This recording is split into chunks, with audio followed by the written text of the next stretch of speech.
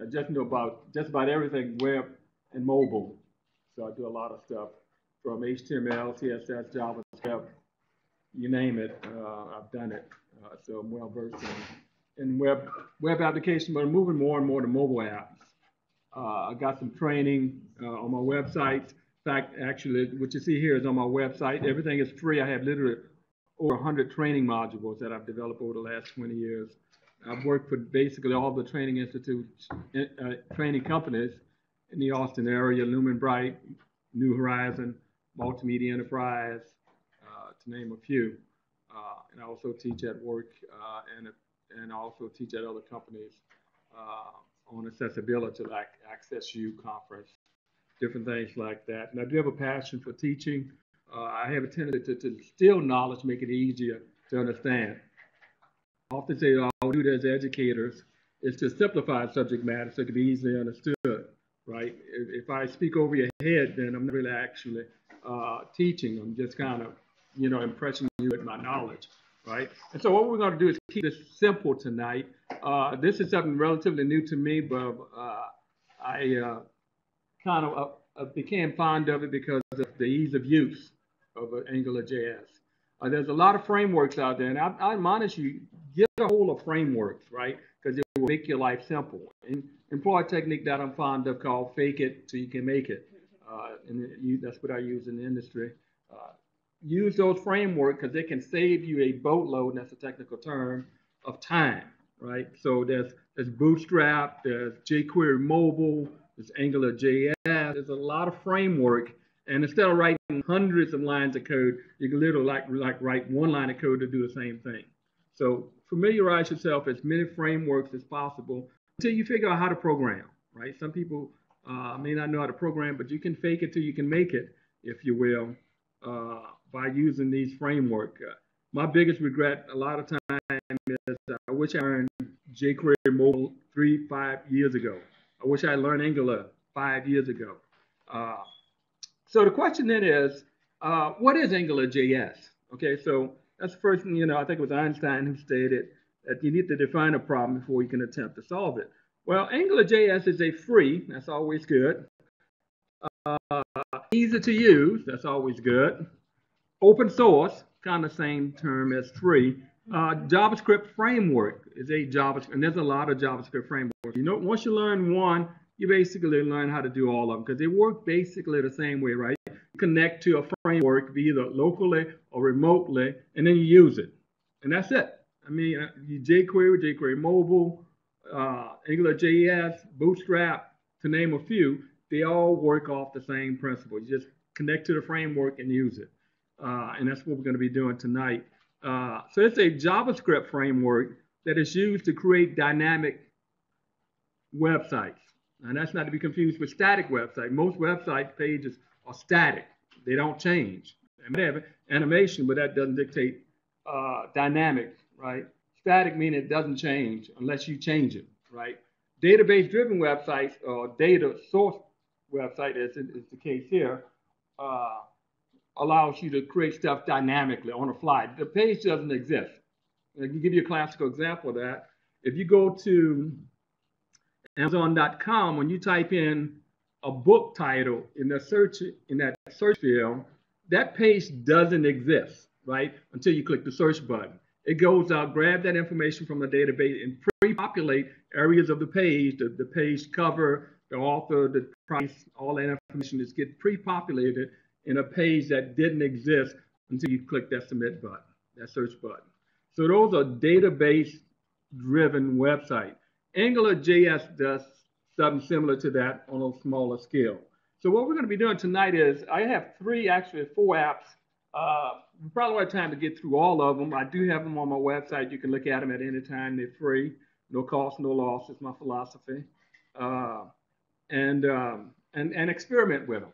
And, or you can go to the AngularJS website or go to go to W3 School. This is where I learned this stuff from. And I created my own material from what they had on their website, but made it more useful. And that's I have a tendency of doing that. So why AngularJS? Well, HTML is static, as I mentioned, right? AngularJS is going to make your website dynamic. We'll see that in time. Uh, so what does it do? It extends the HTML framework. If you're familiar with HTML, it extends HTML to make it dynamic uh, with attributes. And these attributes are actually called directives in AngularJS.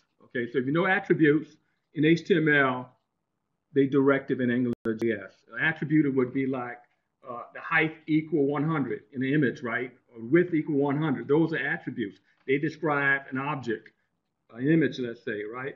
So those are attributes. Well, in AngularJS, they're called directives. And we'll see a lot of these directives. love these directives, in fact. Uh, you see the power behind these directives with just a few words uh, that can create a lot of functionality uh, within your application. And then another part about Angular I like is the, the data binding, where you bind information in your code to your page. So you create code up at the top of your page and you bind it to your page itself, what we call data binding, hence the term, right? We'll see some examples of that. And then also expressions. So expressions, uh, in, in a database-driven application, you're going to see what they're what we call placeholders. Hold a place for something, hence the term, right? And so you, these are expressions that get resolved from data in the code, and it gets resolved in these placeholders, right? And we'll see some examples of that. So directives, binding, and expressions are the three main pillars, as it were, of AngularJS. We're going to see those in turn uh, once we get started. AngularJS mainly maintained by Google. How many of you heard of Google? I, use, I use Google every day. Uh, and uh, again, it's used basically or primarily for creating what we call a single page application. How many of you have heard of single page application? Where it's one page, right? You're not where you link it to multiple pages, literally one page, and that page gets dynamically created, you know, uh, from clicks, if you will. It just pre-populate that same area page, a single page. In fact, you see what we do tonight in these three applications, if we get to them, uh, it's basically done with a single page. Emphasis there on single. So to link to these frameworks, just like any other JavaScript framework, as I mentioned earlier, you just link to it with a script tag. We'll see that. If you want to follow along with me, in fact, uh, uh, you can go to my website, because I'm going to literally be cutting from my website and pasting into, for the sake of time, cutting and pasting into Dreamweaver. So if you got a link to the website and you have Dreamweaver, you could follow along with me and just tell me slow down a little bit because I get excited. Um, but you can follow along with if you want to create these little simple apps. And if you want to know what the link is, it's richmediacs.com forward slash RMCS underscore apps forward slash Angular, that's a capital A, N G U L A R, capital, capital JS, Angular JS. And it's going to take you to this page. This is the page I am on. And if you want to look at any of my training, uh, just to show you, uh, if you go to my home page to my training modules, it's literally, again, hundreds of training modules, everything from ABC of programming, graphics, animation, HTML, CSS, JavaScript, mobile app development, you name it. I have a host of training uh, on this particular website. Uh, we're going to be going to this one right here called JS and JS library, and we're going to we're looking at Angular JS is where we are right now.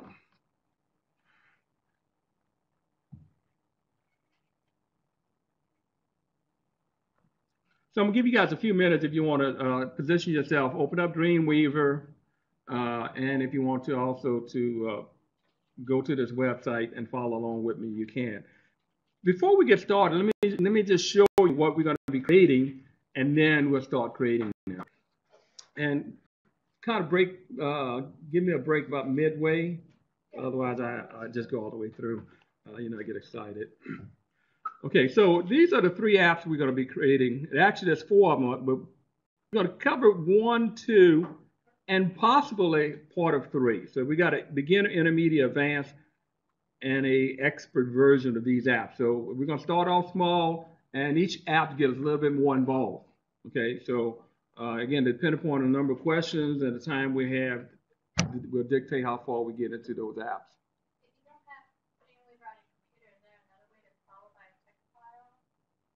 Mm, if you don't have Dreamweaver, if you got a, um,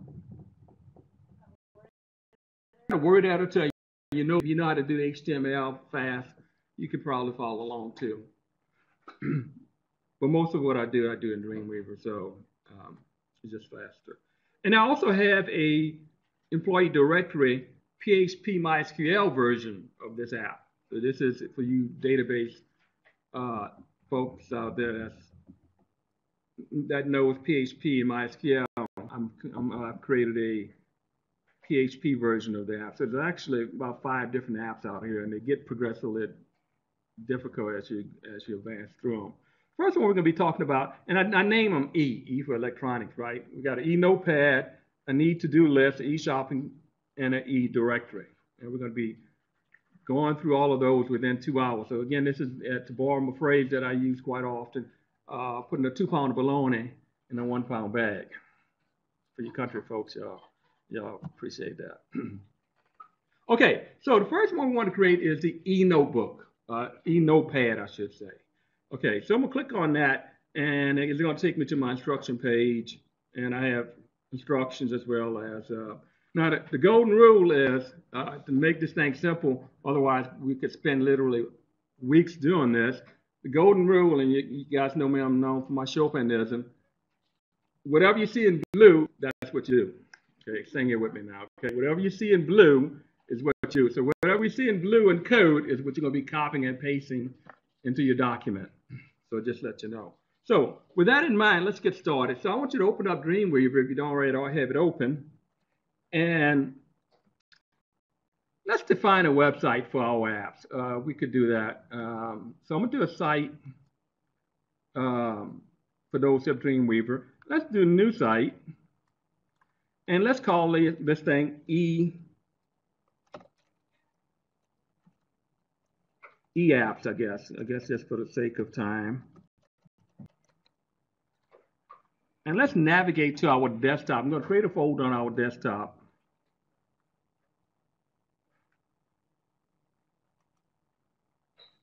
And let's just call it E dash apps. Select.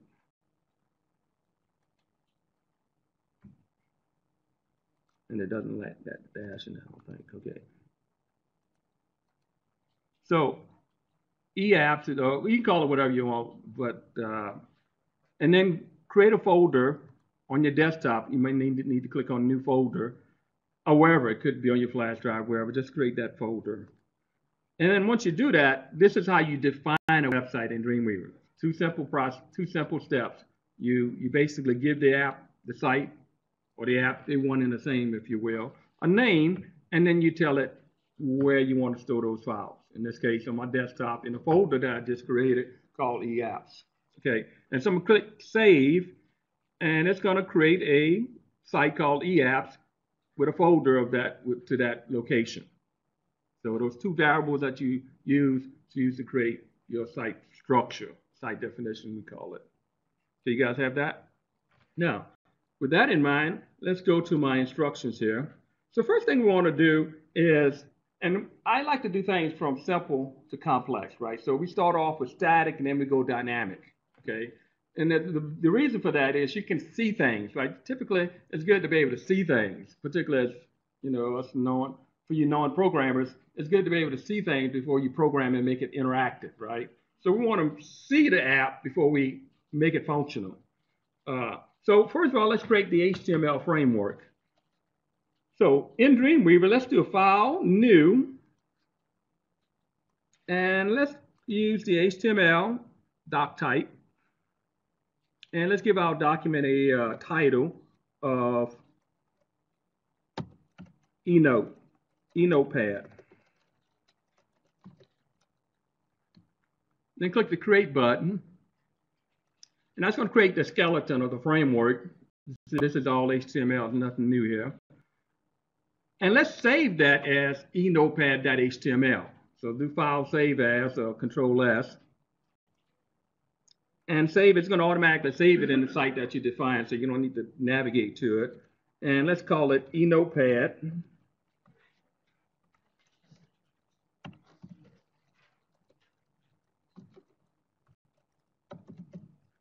HTML. Click OK.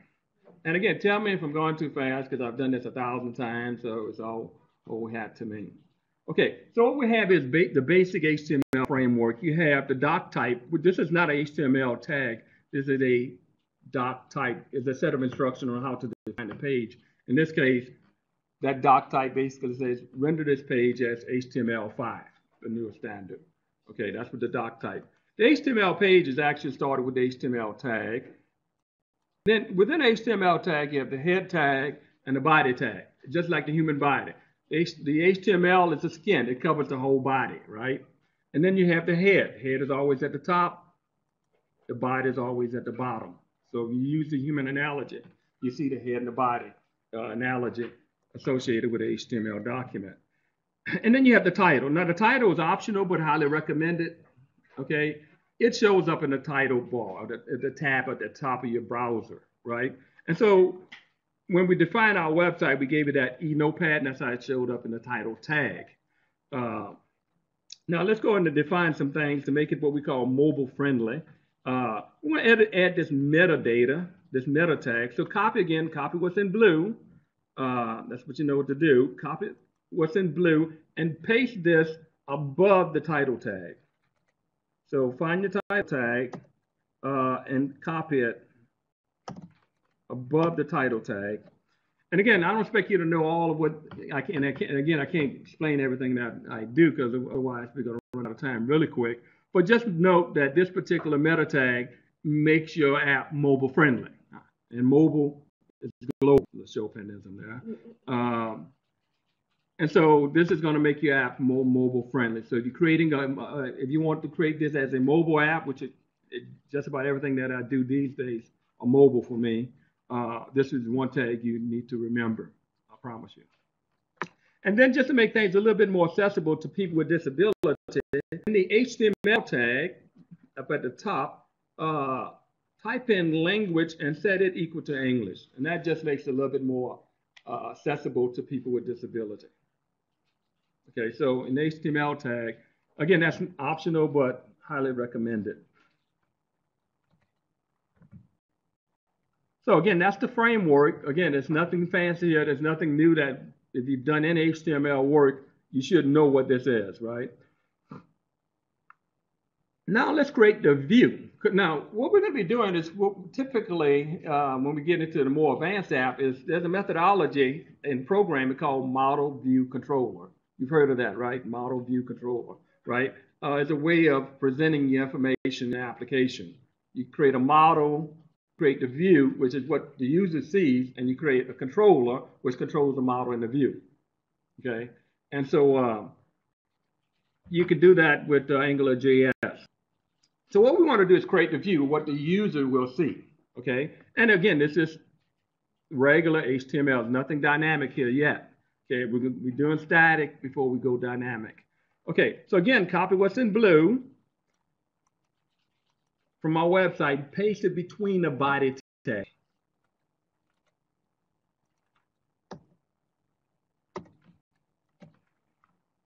And you can see we have our view right there. We have a title. Let me just highlight the elements.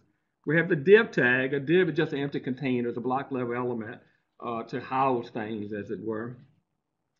Then we have this H1 tag, that's the title, that e-notepad that you see there.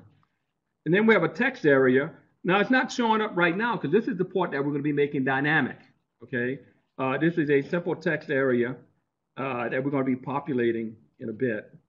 And then we got two line break tags, just to add a little space between the elements. And then we have another div, and inside of it, we have these two buttons. These are save button and clear button. We have those two buttons inside of another div. Again, div short for division, uh, block level element to house those two buttons, and a p tag that basically we're going to be showing the number of characters left in our little eNotepad. Okay, another eNotepad. so you guys see that? Again, this is all static, emphasis there, HTML. Any questions? That clears mud? Okay, save your word, Control S. And let's go in and add some CSS goodness. So I'm gonna copy this right here because that's the name I want to give it. Um, we're gonna call it e-notepad.css. Let's call it. Let's create a CSS file because we want to we want to make it look nice, right? Um, and so let's copy this, uh, copy that name, and let's create a CSS file. So go back to Dreamweaver and do a file new, but this time we're not doing HTML, we're doing CSS. So make sure you select the CSS doc type, document type, and click the create button to create it. And I'll create a blank CSS file. And let's save it. Okay, so we do file save. And let's give it a, that name I cut, a, cut, uh, uh, I cut just a minute ago, or copied rather, and call enotepad.css and hit save. And again, it's going to save it in that same folder. So you got the HTML file and you got the CSS file. Let's go back to my website. And now let's copy the CSS styles that we're going to be using. So again, select what's in blue, right? Copy what's in blue. Go back to Dreamweaver, and you could delete, you know, you could keep it, or you could or you could delete it. Either one doesn't matter. I'm gonna just delete it for clarity's sake, and I'm gonna paste that in. So that's some CSS, and I can explain that real quick.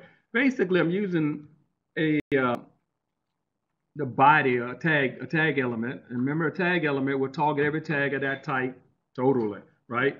And this body element basically says make everything in my document an Arial font.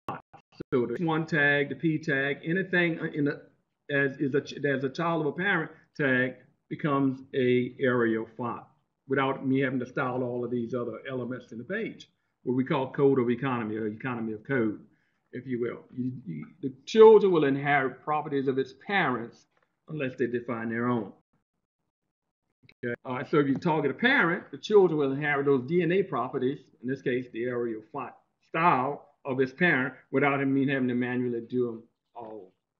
Okay, so that's what that does. And then we want to style a panel. So we're going to give it a little rounded corners and a drop shadow and a, and a backdrop, you know, make it look fancy, if you will, for you designers out there.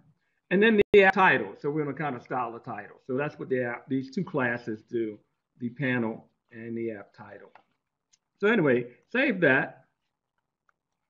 And let's go back to my notes.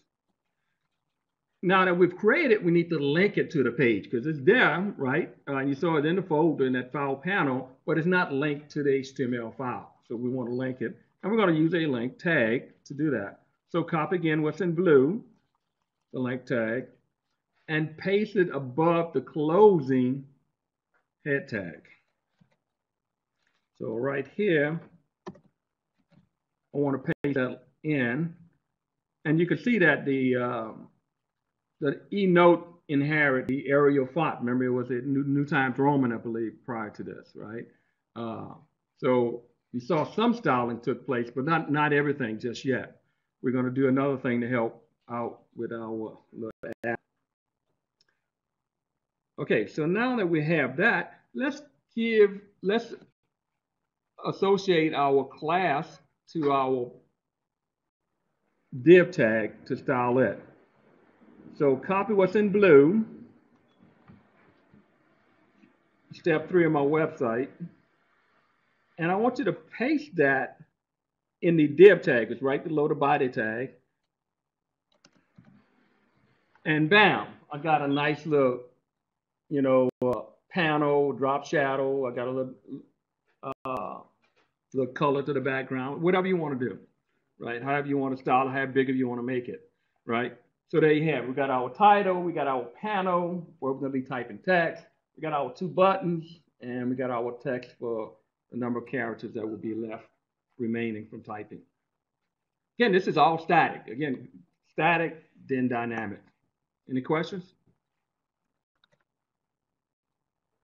Okay,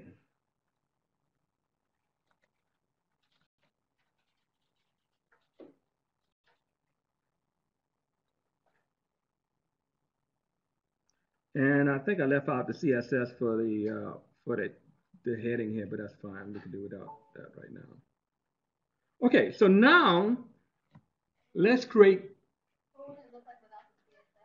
It just looked like plain, what you saw before I had applied that style, just plain HTML. okay, so now we want to go dynamic, right? We, we got the static application, if you will, uh, we want to add some dynamics. So two things we need to do, uh, two scripts that we need to add. One is the framework itself, the Angular framework, and it's real easy. You just connect to it. Now, we, now again, you got to have an internet connection uh, for this to work.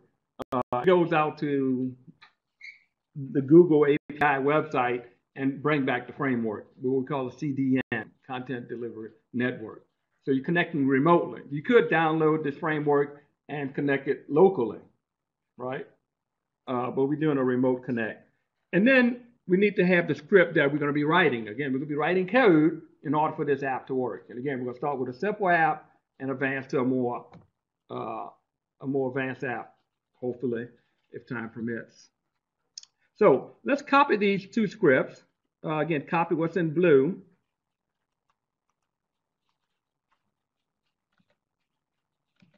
And I want you to paste it below the title tag.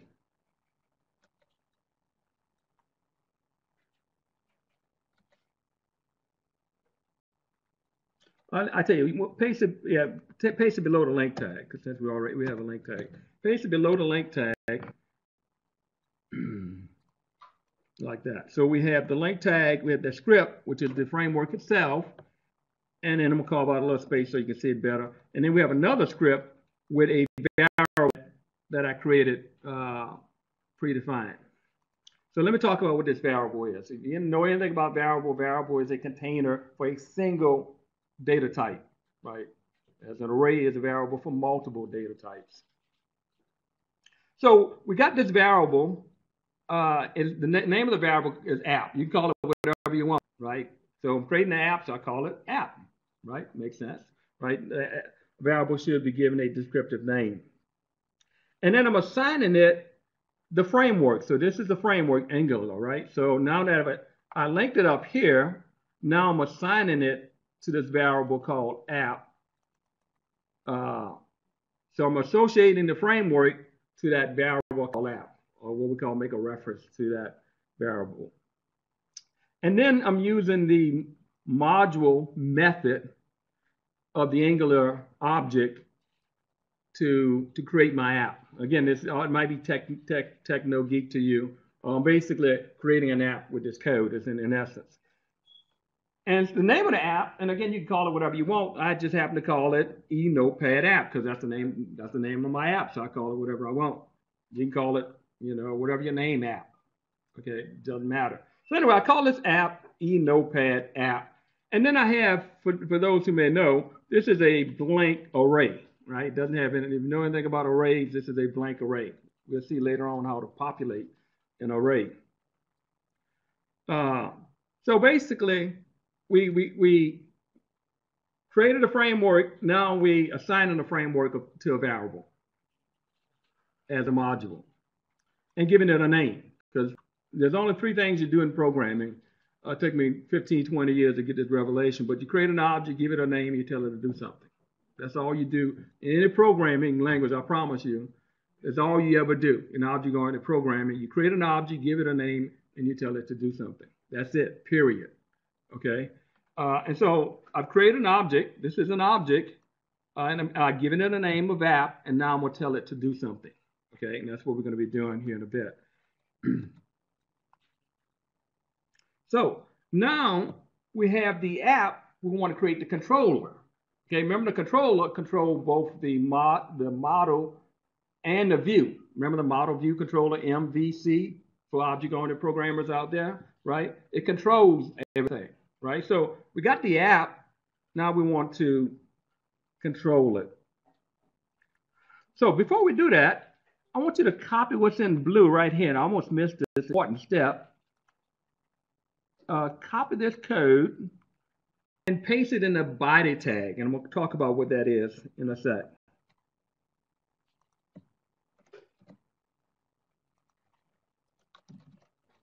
And I'm adding the word data dash in the front of that. Uh, and the reason for that is when you put data dash ng, anytime you see that ng, that's Angular JS. That's your date giveaway, what we call it, to is a Angular JS, JS directive.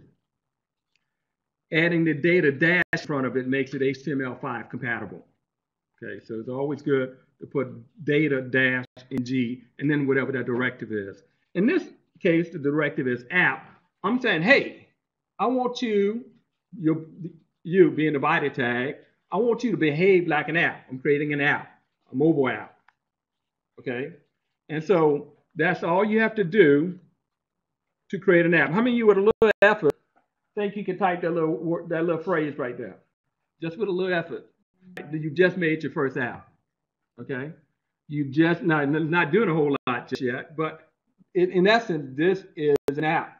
Okay? We hadn't told it to do a whole lot, but we told a body tag, and you know, body tag is most of the HTML page, right?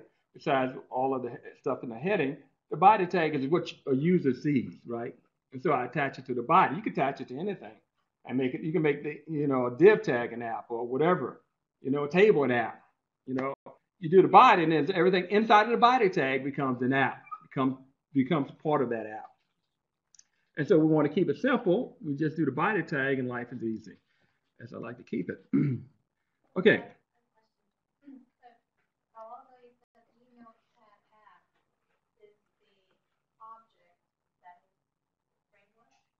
Say that again. Oh, I just want to know what the Notepad app inside the module argument. Um, right here. Yeah, you said that's an This, this is this is basically the object. Angular is the object, and I'm just assigning it to a variable called apps. Oh, Angular is the object. Yeah, object. And, you, and again, I don't want to go into too much detail, but typically when object-oriented program, you have these three concepts, object.property, object.method, and object.event. Again, the only three things you do in any object-oriented programming language, object.property, that defines properties of an object, object.method, that's what an object can do or what can be done to it, and object.event.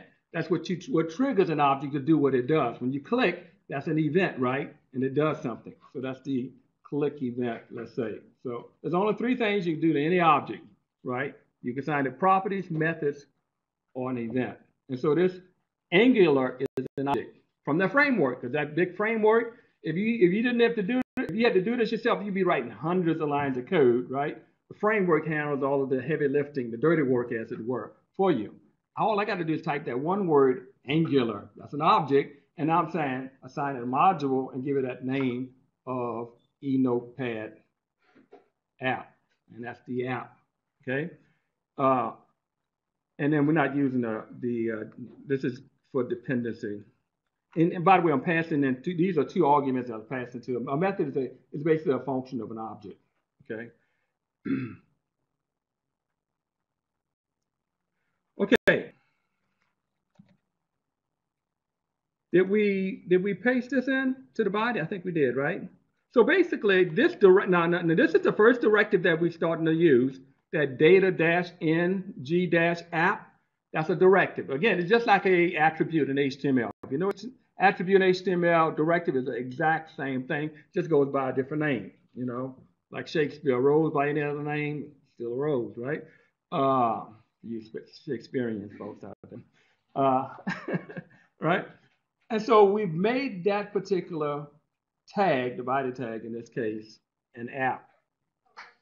Um, where did you find the data dash ng on your web? I, I typed that in. That, that wasn't part of the on my website. That, that, was something I added Oh, okay. after the fact.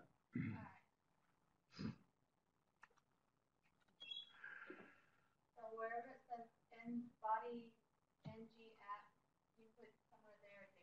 Yeah, I put data in front of it. Okay. Data dash ng, and that just makes it HTML5 compatible. Oh. You don't have to do that, but if you want to, if you want your website to be HTML5 compatible, and I don't see a reason why you wouldn't, you're gonna want to use data dash in front of all of your ng directives.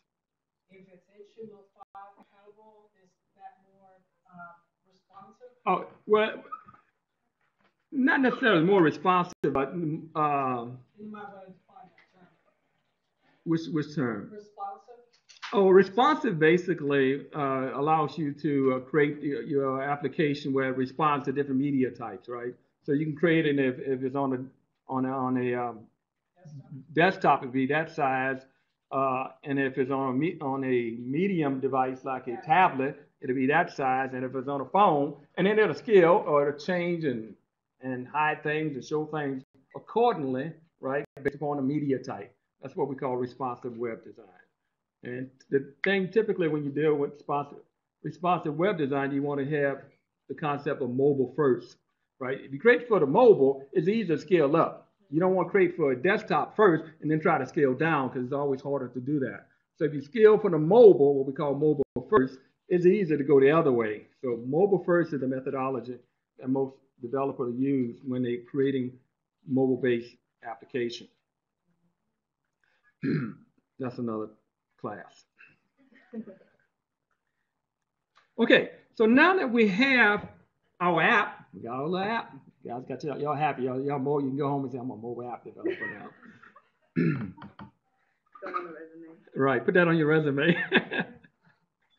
and be all excited. Now, let's assign a controller to the app. We created the app. Now let's assign, keyword there, a controller to the app, right?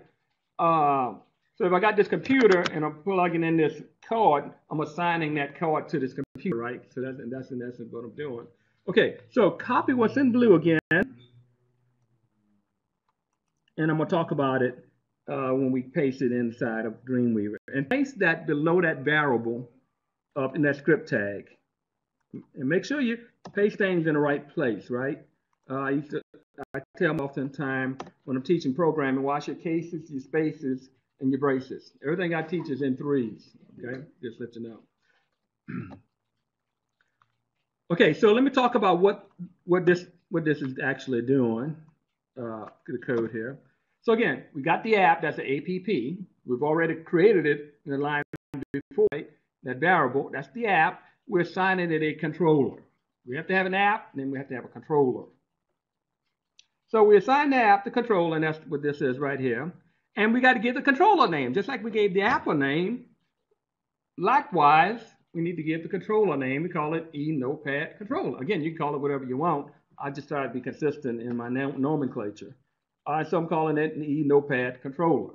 And you can spell out controller if you want to. If you, just abbreviate it. And then, so you pass it two, two arguments. Arguments are things you put inside of a function, right? Those arguments are parameters, sometimes called. So the first thing you pass into it is the name of the controller. The second thing you pass into a uh, into the controller is the function. Now, for years, always this was like a mystical thing to me, right? Uh, you ask people, what, what does the function do? Can anybody tell me what a function do? Hmm? Okay, what you tell it? Okay, that's true. I, I like that. and will often return a value. Return a value. Okay. Perform some task. Yeah. Okay, all that's all that's true.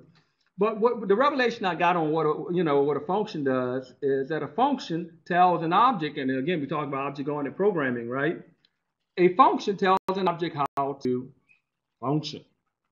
Okay, that's all it does. So whatever I want this thing to do, I'll put it in a function. So again, you don't need to be a rocket scientist to know what a function is. It tells an object how to function. Okay, so that's what this function uh, thing is. So I'm, whatever I put in between those curly braces in that function is what this object's going to do. Okay, so let's do that.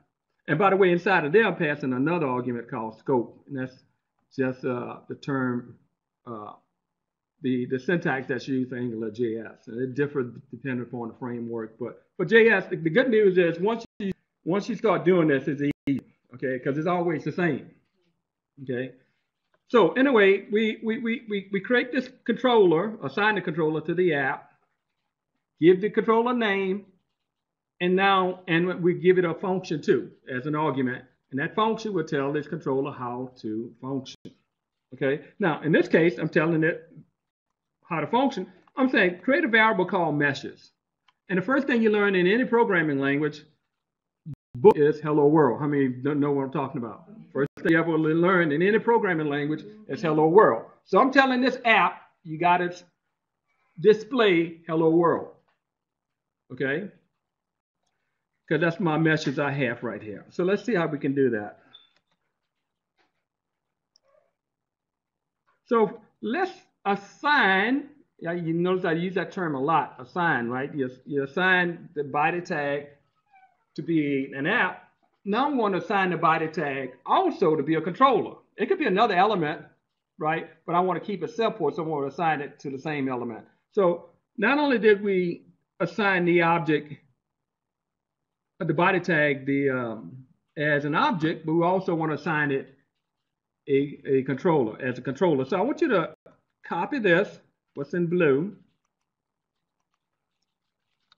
and paste it inside of your body tag.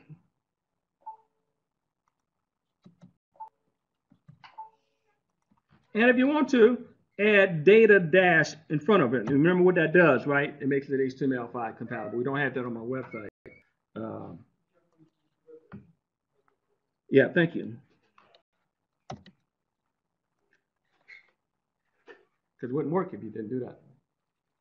Okay, so we got the body tag as an app. We got the body tag as a controller, right? Now let's assign a message to see if it works. Okay, so I'm gonna copy what you see here on my website and paste it right below my opening body tag.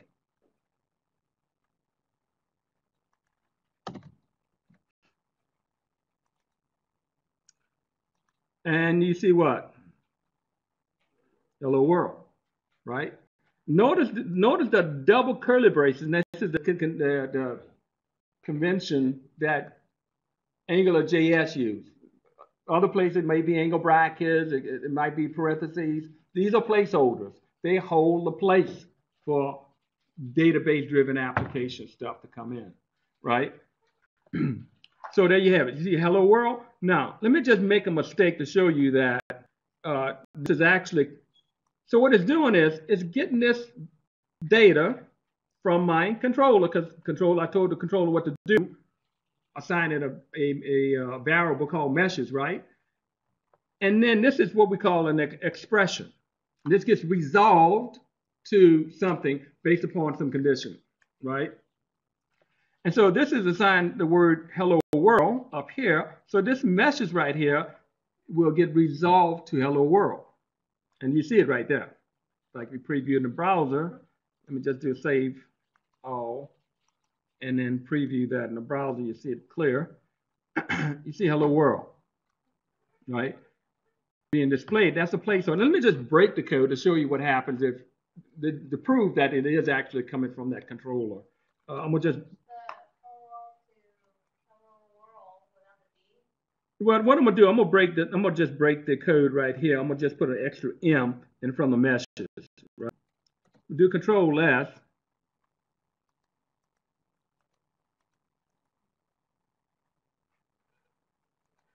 And let me just preview that in a browser. And it doesn't even show up, okay? Uh, because it's broken. So I'm going to undo that.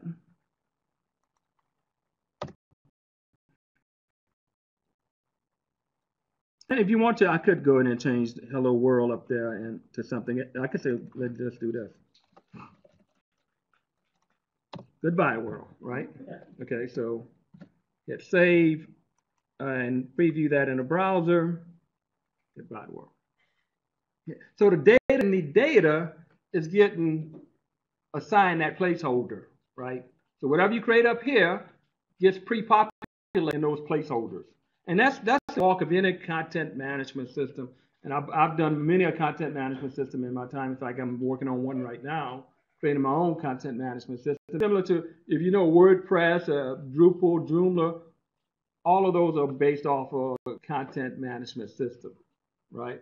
They all work off the same principle. And they only do th- four things. You can only create, you can add to a database, you can delete, you can update, uh, you can add, update, delete, or select.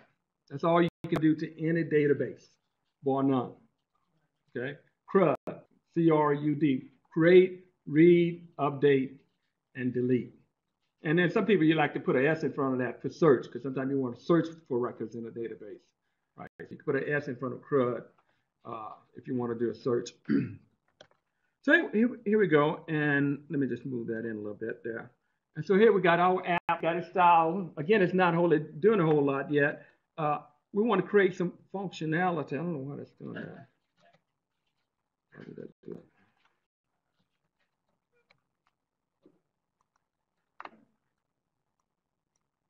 Okay, so let's move on to creating some some code here. Let me get rid of some of these windows. Okay. So let's create, when you're writing code, you write code modularly, right? You write a code clear button, right? You write a code for the save button, right? You write a code for the delete button. And you just add it to your code. And that's what we're going to be doing in essence. Okay, so first function we want to create is the clear function. So we want to be able to type, and then we hit the clear button, that field should clear. That's what we want to do. So again, copy what's in blue. And I want you to paste it below that scope mesh variable, uh, scope meshes. Um,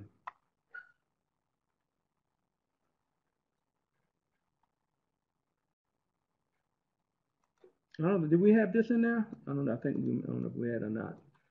Uh, actually, we had hello world in there, so we're going to delete hello world out of there.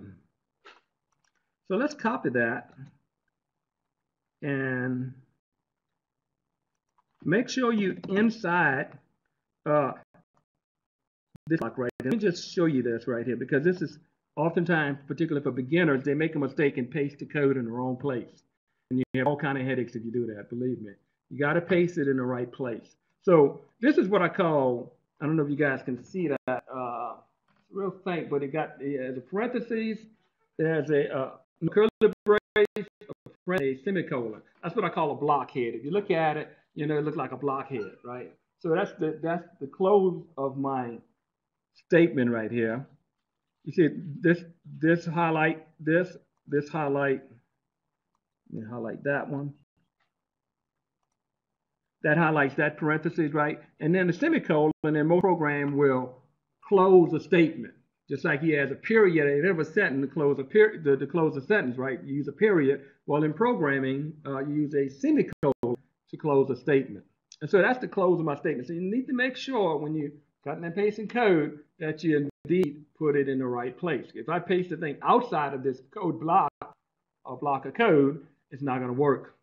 So with that in mind, uh, I think I, I pasted, uh, I copy it. So I'm pasting it in, and I, like to, particularly for a classroom setting, I like to use uh, comments in my code to, to, to modularize my code as well. So you can kind of see this is one code and the next code start right after another comment. It just makes it easy to know where, where the code starts and stops, if you will. So this is a clear function. Clear function will clear the text. So we got this function called clear and it, we're assigning it to a function. So again, clear is more like an object, and we're telling this object how to function. Again, going back to what I said earlier. And I'm telling it to whatever I type in to erase whatever's in there. So I'm setting it to a blank string. That's how you clear stuff in any programming language, right? You just set it to a blank string. And that's what we're doing here. Remember, meshes is that variable. We want to tell it to clear it so let's assign the button a click event. Okay, and we'll talk about that and how that works here in a bit. So copy what's in blue. Copy what's in blue. And find your button.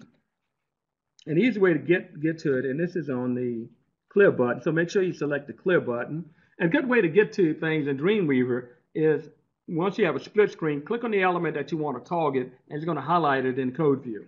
Otherwise, you might be chasing down, chasing it down all the time. Notice when I click here, my clear code got highlighted. Quick way of getting to the code I want to add to. So inside of the button, I'm going to paste in that, and again, I'm going to add data dash in front of it. This, another directive. Now we've used several directives. We used the app directive. We used the what? Control directive, I believe. And now we're using the click directive. Now guess, can anybody guess what the click directive does? Huh? What is it? Yeah, when you click the button, right? So when you click, it's listening for what we call a click event, right? In most things, in most programs, you got to click a button, right? How mean, you click a button before, for crying out loud, right? Uh, you, so when you click a button, it fires off an event. And so this is what we call an event handler. It handles the event or event listener. It listens for an event, right?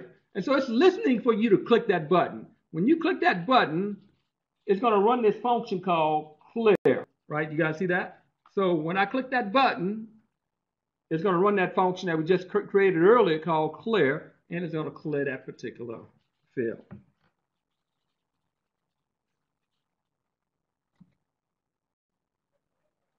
Now, okay, well, what depending upon what you're doing, this is actually called what we call the event handler. Event listener is a little bit more advanced uh, event event type. Uh, this is called the event handler. It handles the event. Okay, so it's, it's, it's in essence, this listens for you to, it's like a listener. It's listening for someone to hit that click, that, that uh, clear button. And when it, when someone hits the clear button, it execute that clear function because that's what I assigned it to, right? So I assigned the clear function that we just created earlier. Now do is data bind this text field that you see right here as my event that I want to clear. So go back to my code. I, I can. Yeah, I, I was thinking about that, but let me, let me do that. I was thinking about that. So uh, what he's saying is he's a programmer in the house. I was thinking, I ought to do that, but I don't know if I want to do that. I, I didn't want to kind of confuse him. Uh, so basically, right now, the message is assigned to this, I think, right? So if I hit the clear button, bam, it clears it because it's associated with it, right? And so it's going to clear that object. And clear just makes it empty, right? Uh, I could put something else in there and tell it something else to do something else, right? Uh, so you can put whatever you want that clear function. It doesn't have to clear it. I could say, um,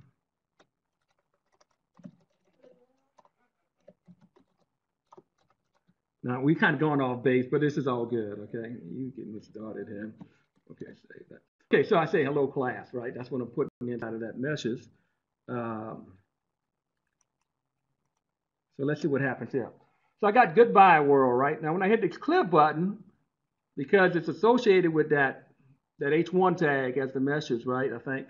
Uh, hello class. See that?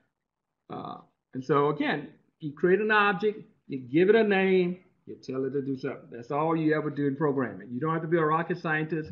You don't even have to be a geek. I used to think you had to be a geek to be a programmer. And, and by the way, and you don't have to know numbers. I hate working with numbers. People think, man, you do programming, you do mobile app development. I hate numbers. I, I usually rely on my sons you know, to help me, you know, to add two numbers together. You know, uh, you don't have to be good at. You know, if you need a formula, just go look up the formula. That's what I do. okay. Uh, programming is all about uh, thinking logically, right? And most things you do in programming, you're turning things off, you're turning things on, you're hiding things, you know, you're showing things, different things, show and hide. Basically, that's what it is, a lot of cases, particularly in mobile app development. Okay, but anyway, that, that, five brownies for that. By the way, in my class, we pass out virtual brownies for good responses. And so uh, five brownies for that. They virtually free, calorie free rather. Uh, So you get, actually, I want ten brownies for that, because that that was, I thought about doing that, and I said, nah, I ain't gonna do that, but I'm glad you brought that up. You read, you did indeed. okay, so let's get back on track to do actually what we was intended to do. Okay. Okay, so let's go back to code. Close some of these up. And let's select this. This is another, this is another, again, it's all about the directives, right? This is yet another directive. We did the app directive, we did the bind directory. I don't know if we did the bind, we did uh, the click directive, right? This is another directive. Uh, just like attribute, HTML. So copy what's in blue, and I want to I want you to paste this in the text area input field. So again, this is the text area right there. Again, I'm click on it to select it in code so I can get to it really. And I'm gonna space and paste, and I'm gonna add data in a space. Okay, so again, I'm telling that to be the message now. Okay, and I'm gonna delete this one just to show you that. Uh, I don't want to confuse you with that one. I could keep it up there, but I want to just move that out of the way. So I'm basically now, now the way this the way this model work, which I like to use. This models the data that's in the application. And let me just save it. How are we doing on time? Um,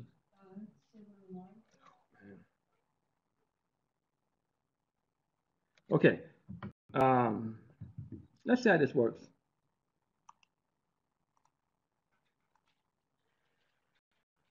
So notice I got goodbye world. I had that in my application, right? So it's, it's, it's, showing that in my code. Now I could type this, I could put whatever I want in here, right?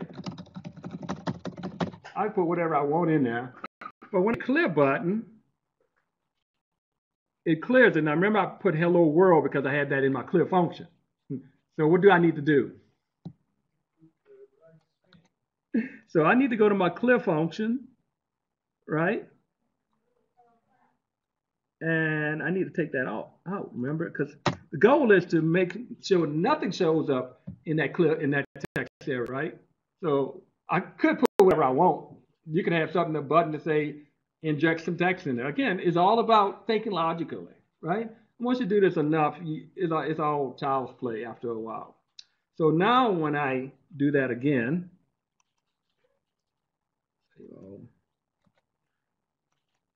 and um, refresh that.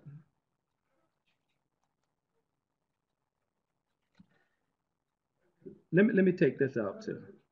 Uh, yeah, I mean, that'll, that'll still work, but I, I, wanted to just type in it. But anyway, we'll, we'll just keep it in there. That's typing. Right? Type whatever you want. And then when I hit clear, bam, it clears it. Okay, so I clear that particular text field. Now, again, I would probably take that goodbye, goodbye world, hello world, whatever it is, out of my application because that's what's showing, showing up because that's what it's assigned to, right? It's all about assignment. Okay. uh, let me let me refresh it. See, goodbye world, right? That I really don't want that in there when I first start my application, right? So what I should have is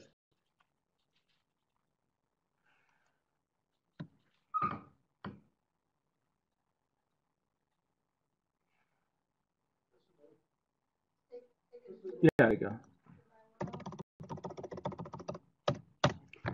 I don't want anything to show up in there, right? Hmm?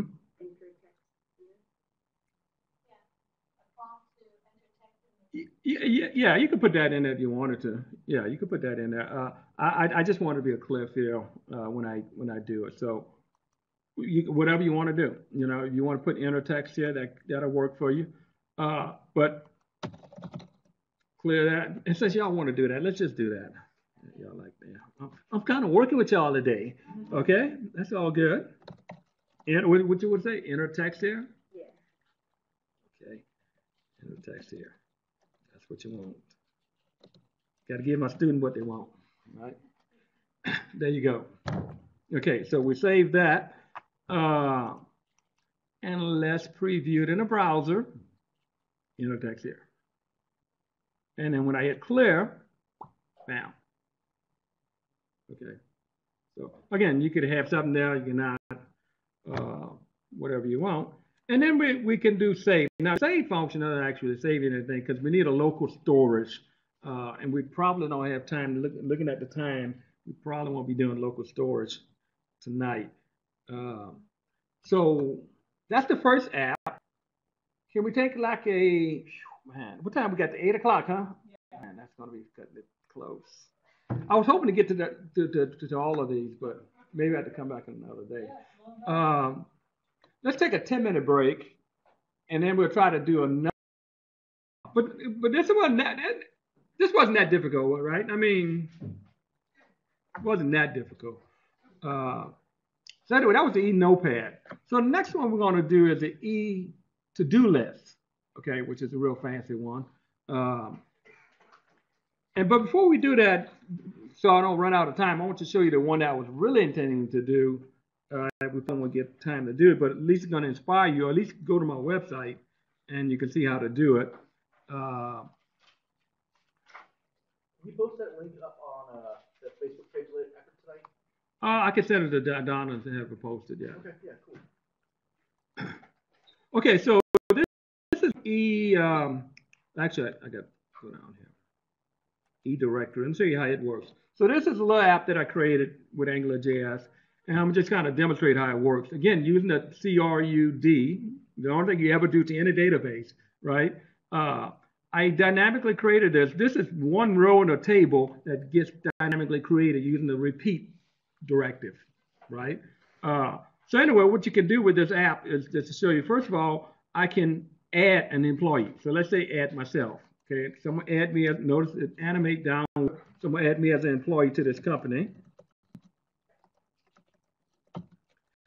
And, and call myself a software developer, duh, right?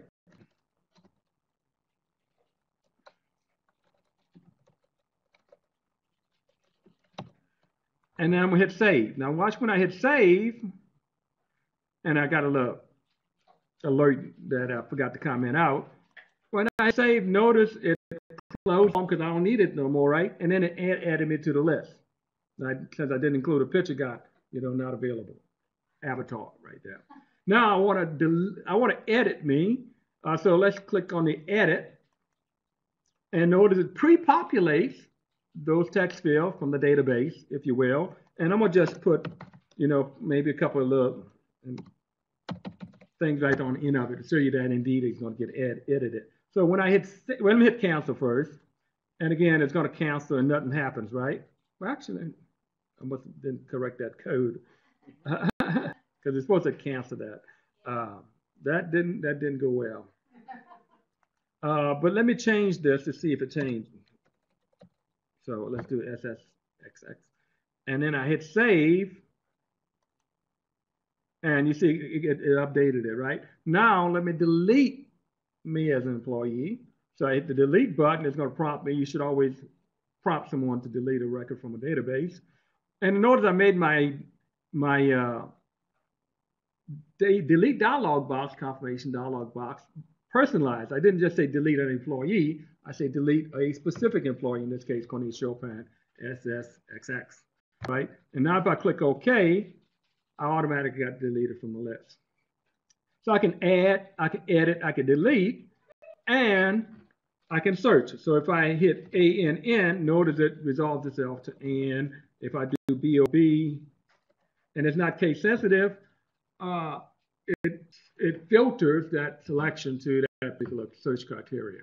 Now, let me just say I've, I've done a many a content management system. I've done Cold Fusion. We're talking, uh, I've done Cold Fusion. I've done PHP. I've done AS, ASP, ASP.NET, JSP, to name a few. Those are major server-side technology languages. And I'm telling you, this made life easier. AngularJS made this what we call child's play. That's a technical term uh, for you geeks out there. okay, it made this stuff easy. Okay, and so you know, and then I have a database-driven one, database uh, PHP version of this one. That's the advanced advanced version of this app. So just kind of want to show you where I was hoping to go with this. Uh, uh, but, but what we're going to try to do in the time that remains is another app. Hopefully, see how far along we can get. Uh, and that is the second one. So I want to go to. Uh, I guess I must close up my uh, website. So I need to do that.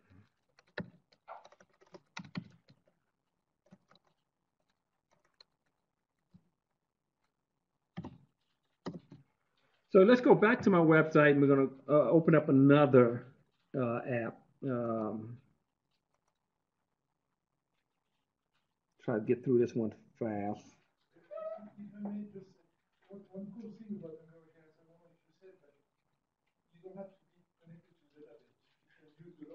Yeah, and, and, and I, yeah, this, this version right here is local stores.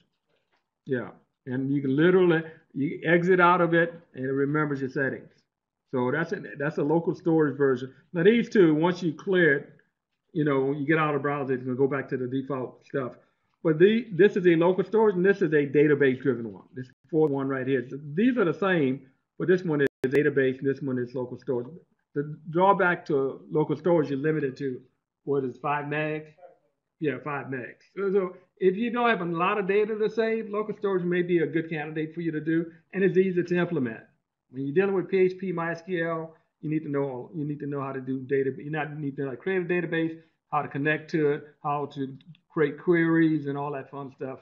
Uh, and and that takes takes some wherewithal to learn, but not that difficult. okay, so with that in mind, we want to click on this uh, up at the top here, and we're going to go to this uh, intermediate to-do list. That's what I want to do. To-do list. That's what I want to do. Okay, so let's see if we can get through this rather fast. In fact, man, I'm almost. I'll tell you what. Let's do this just for the sake of time, uh, because again, there's a symmetry here. I'm what I call again employ technique I'm fond of called fake it till you make it. Uh, I'm gonna take this e notepad and I'm gonna save it as what is it? E to do list. So let's do file, save as.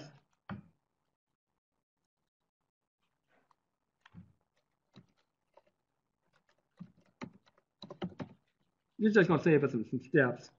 Uh, and then what I'm gonna do is go to my body tag and delete everything in my body tag. Okay, because I'm kind of creating a new app, I'm using this as a template just to save some time because we, we press for time, believe me, right? And I'm gonna clean up my uh, this other uh, up here in my title. Obviously, I want to name that what e to do list.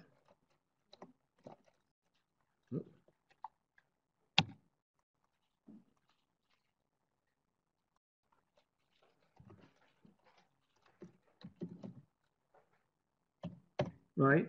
And then the link, uh, we could probably use that same CSS style sheet, I think. That's going to come in handy. We're going to use the same framework, so that's going to come in handy. The same script, let's gut this for right now, uh, except for what's common. Is the title case sensitive? No, no, it's not.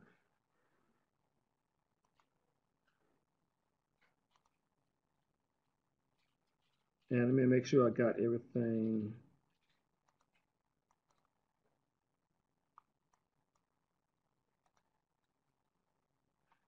I tell you what, let, let, let, I'm, gonna, just delete this because I want to confuse you guys with what to delete and not. Uh, but I do want my framework, okay? So keep your framework, change title, uh, and if I click over here, you can see it's, it's going to disappear because I've erased it, right? But we got a new app we call in the E to do list, and this is going to save us some time. Save. So with that in mind, okay, we've already done this because that's part of the same app that we just did.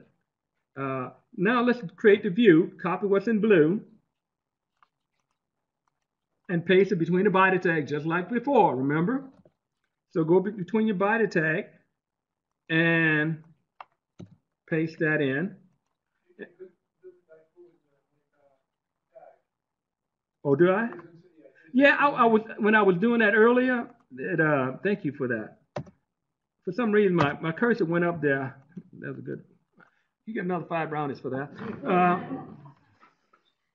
yeah, I- it just went up there for some reason, for some odd reason, and I started typing up there. Uh, good catch on that. Okay, so I pasted, and now, now I got my apps. It's static, right? This is my e to-do list, I got my little menu, add, to-do list, and all that fun stuff, buttons and the, and the whole, whole. Okay, so we got that. Now, obviously, we got to change some other things.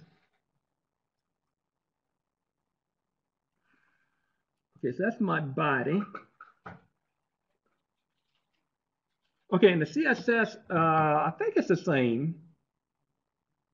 Uh, but if it's not, I'm gonna just paste over it. So I'm gonna copy this.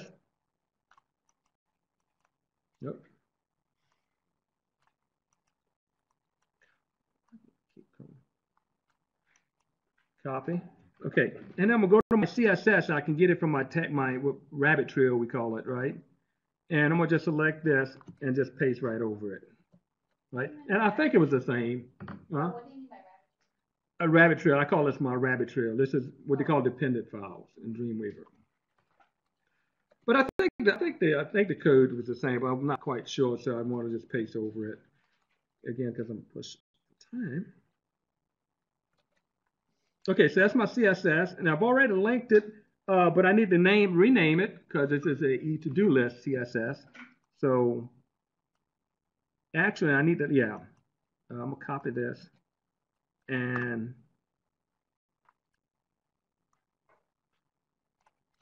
paste it. Is that right? No, no, because you, you copy that in your e.CSS, so your, your, your binding was right. You don't have to rename your binding because it looks like the notepad CSS, because you copy the code. No, the CSS remains the same.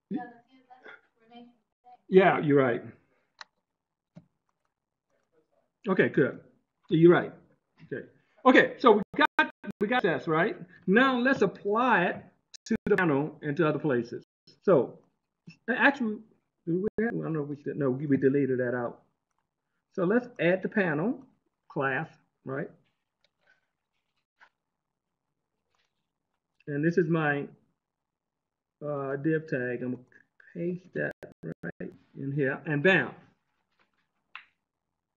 So you're right. So I have my CSS already in place. Same, same look and feel like we had for the previous app, right? Yeah, I think we could have used it. We, uh, again, I wasn't sure if we could use the same CSS or not. Now, let's add the dynamic stuff. okay, I think that's next.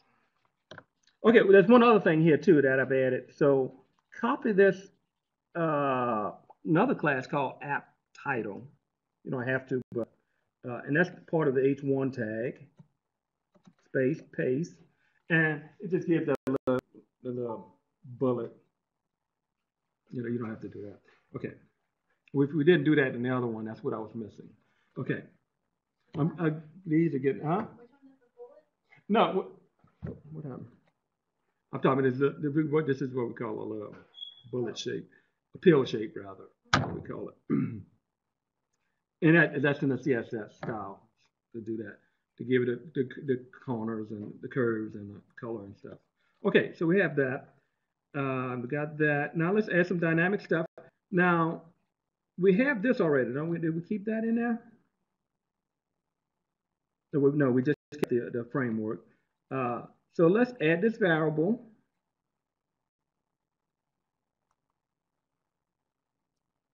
And I forgot that I did I deleted my script, so I need to add a script tag, right?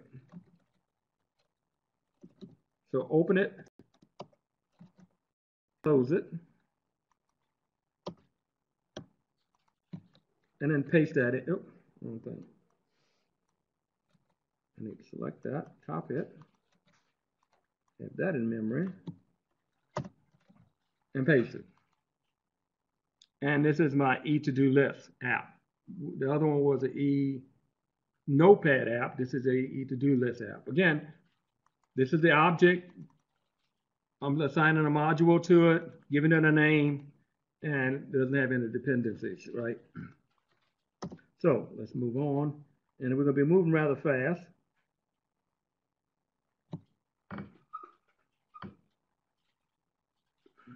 So we did that already, right? And we got that.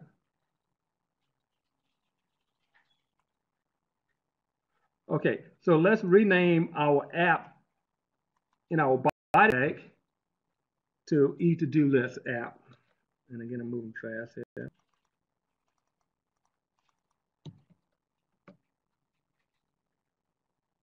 And I assume this would be e to do controller, right?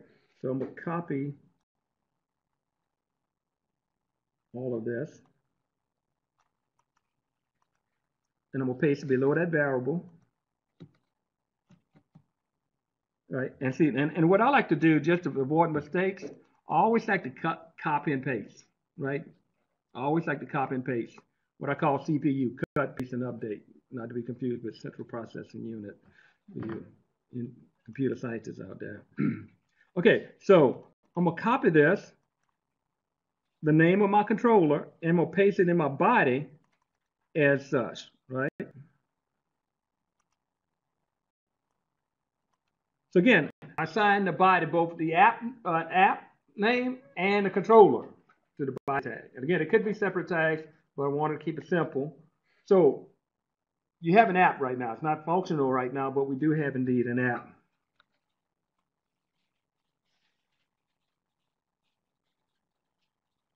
We got that done. And then we want to add this app. This is an expression we want to add this to the H1 tag, which is above the form tag. Now, let me see, what is that? Um,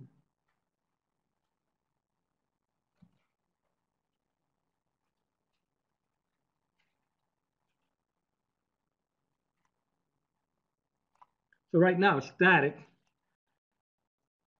paste Notice it's dynamic right here. You see that?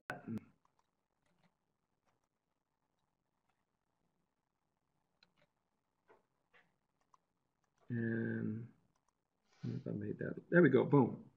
So now it's dynamic. Okay, the title is dynamic. Okay, and you can see it up here. Uh, app title, e to do list.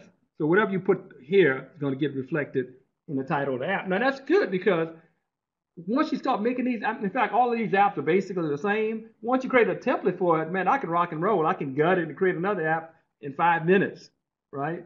So you want to make things that are common. Like you notice my look and feel is the same. I got the, the, the rounded corners, the drop shadow, but don't reinvent the wheel, right? So that's going to be the same across all of those apps, right? And then notice I got the, the title. That's going to be the same, and I can make it dynamic. So all I got to do is just change a variable somewhere and it changes everywhere else in my application. Okay, so let's do Okay, so we've got that going. Uh, let's add this right here. Copy this. Default items that we want to put in our list. And you want to put this inside of the controller, right? Because that's what we wanted to do. Again,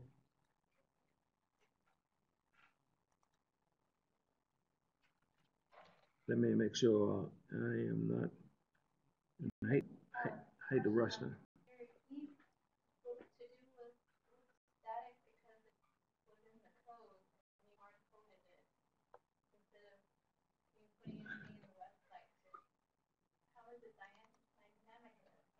Uh, you see right here, these curly braces?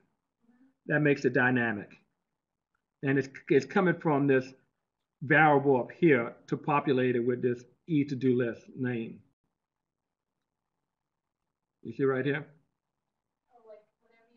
Whatever. I put up here is going to be the name of that my app. Right here.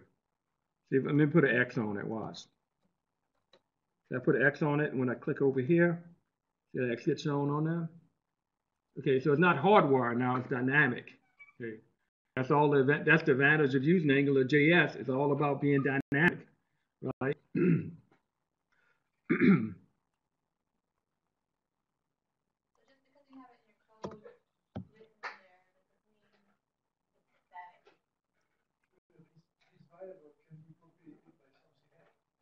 Yeah, yeah, yeah. And, and typically you want to be pulling stuff from a database, right?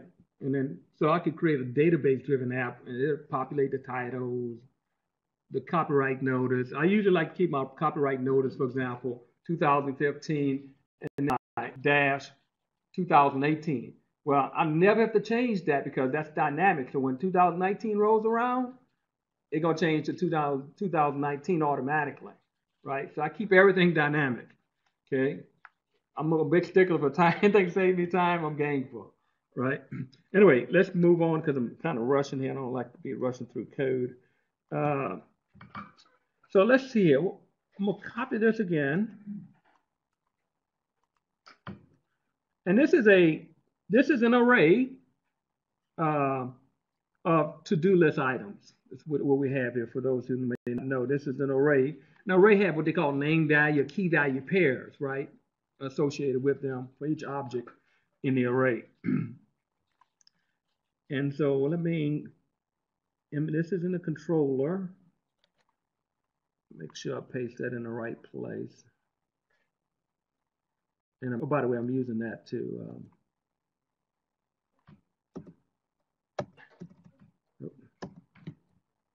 paste that in, and I'm gonna just clean my code up just a little bit.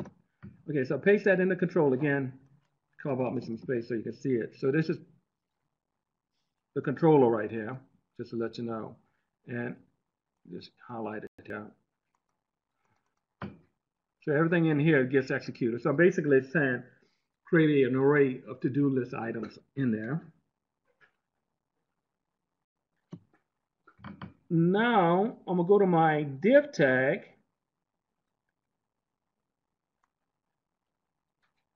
And copy this. This is a repeat.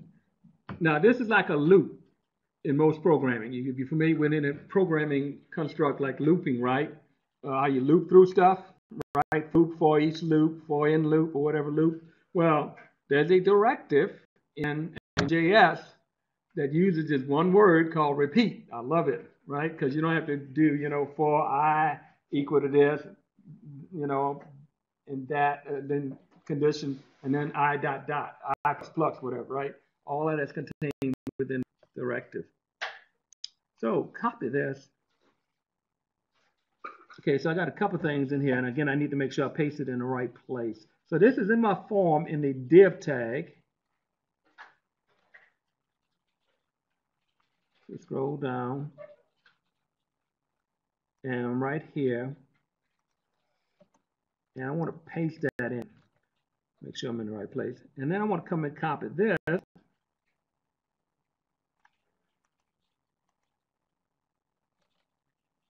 And we'll paste that right after the checkbox. And I'm going to explain this after I finish it. And we'll copy this one. So get everything. That's in that span, space, paste. And then I got the to-do text. And that is going to replace this word right here, the static stuff.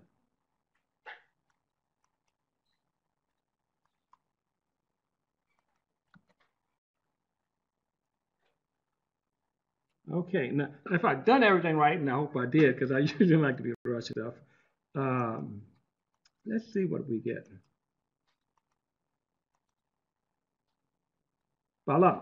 Okay, there we have it. So notice I got my two items in my to-do list because that was part of my array. And again, let me just show you where, where that's come from for the, some of you looking at my Cafe at a New Gate. Um, Let's go back up here. You see this array has gas car, right? You see that? And then whether or not it was done, because it hadn't been done yet, so there's not a check on it, right?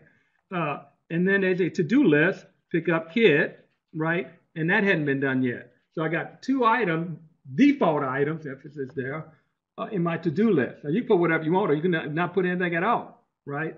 I just happen to want to put two items, because I like to see stuff. I'm a visual learner. I want to see stuff right? That's a technical term stuff. Okay, and so I have two items with no check, right? So the done is uh, false. When it's true, done is going to be true as a Boolean value. Okay, so there we have it. And you see them right there.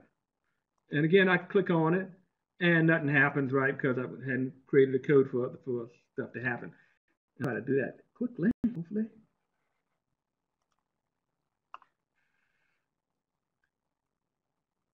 Now I'm gonna add the add function. So here we go. I'm gonna copy this. Oh, went too far. Copy that.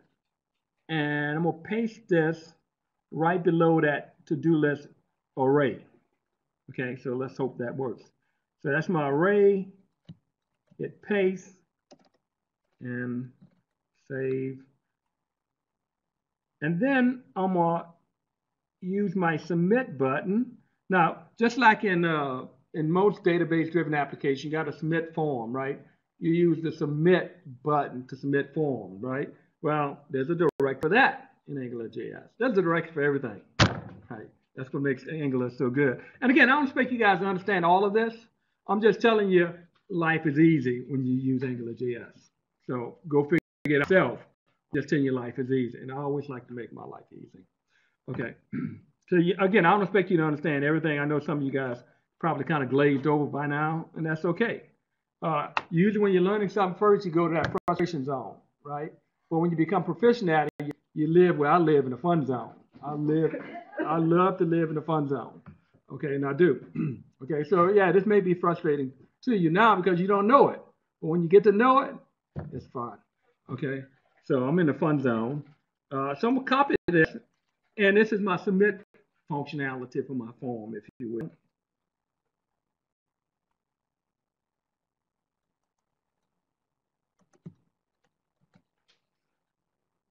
And I'm not gonna put the data data dash on it. I could. Okay, and then I'm gonna put the model. Now, what model does, and I, and I didn't mention this before, but it models the data, the application data. Okay, it's just like a, a real life model. You know, you see them be modeling, right? It models the data from the application. Okay, that in this case the array. I want to model that array. So I'm gonna copy that, and I'm gonna put that in the input thing, and where do I put it? Right after my type text. Space. And hopefully I'm, I'm at a place where something worked. Okay, because I know I'm up against the clock. Um, so let's hope this works. If I paste everything in the right place, uh, I'm gonna right click and uh, choose this.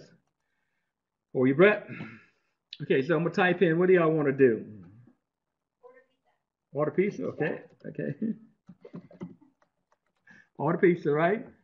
And did, did I add my add? Did I add a click to my add button? I don't know if I've done that yet. But I guess I, I had already did. So that, yeah, yeah, that's right. Cause yeah, I had a. Oh, you just on top of it too. Um, so there we go. Now, say so you got to add it. See that? Um, I want to go home because I'm getting tired. Okay. So go home. Bam. Okay. So there you have it. Okay. So I still got a few more minutes. I'm going to try to squeeze in another functionality. It's going to be tight, but it's going to be right. And again, I expect you guys to be confident. If you could just look at all of this on my website, you could do it when you have time to think about what, you, what you're doing. Because I'm, I'm actually rushing through this, to be honest with you. So that was added. That worked, didn't it? Okay. Let's do the remove because typically you want to remove an item because I have I have the little paper to-do list, right? You know, you strike strike through it, right? Uh, and so let's do the remove function. So I'm gonna copy what's in blue and paste it right below my other code. So right here, it paste. Okay. You see why it's good to add those little comments because you can really see where to start and stop code. That's life is good. Uh,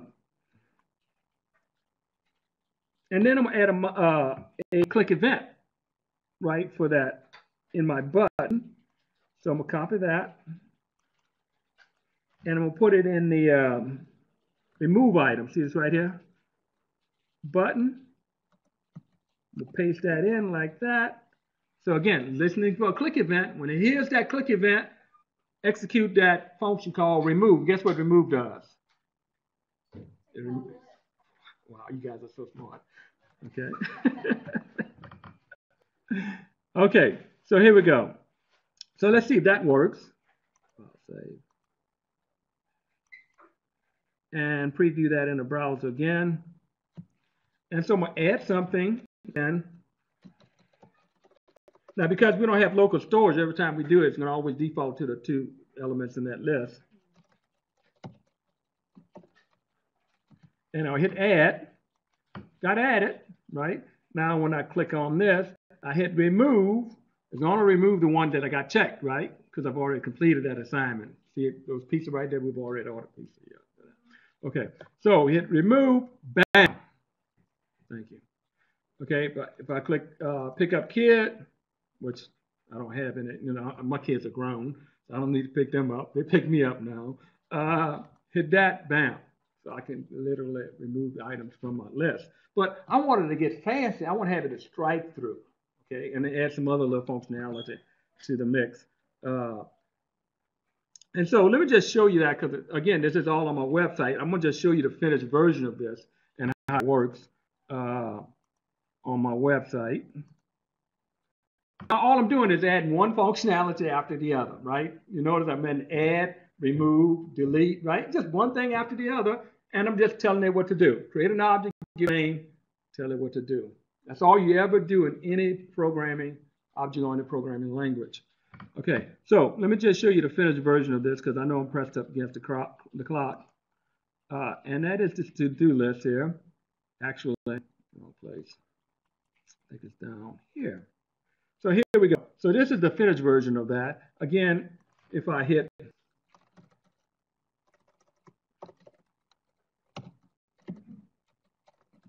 pizza, I click on it, notice get added. Now, uh, I've added some functionality, so if you hit add without anything in it, it doesn't add a blank line. Right now, if you hit add, it would add a blank line. So anyway, I could click and add as many items as I want in my list. And I'm just typing some gibberish just for the sake of time. And then when I select what, notice when I select it, this is the coolness. This is slicker than slime. I mean, you know, slime is slick.